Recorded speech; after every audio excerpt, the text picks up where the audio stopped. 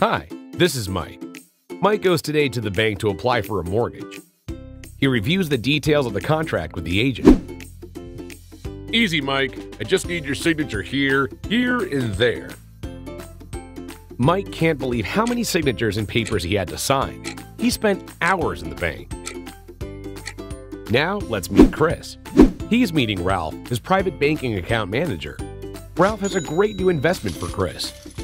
Chris just can't wait to sign the contract. But Ralph says, Perfect. Let me go to the office to print the papers.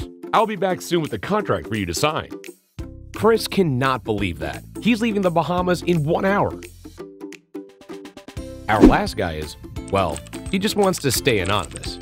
He is at work when a brilliant idea comes to his mind.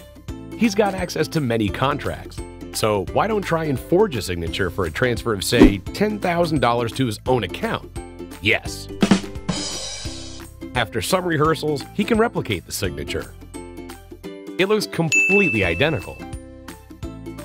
BeSign uses the biometric signature for a paperless, secure signature solution.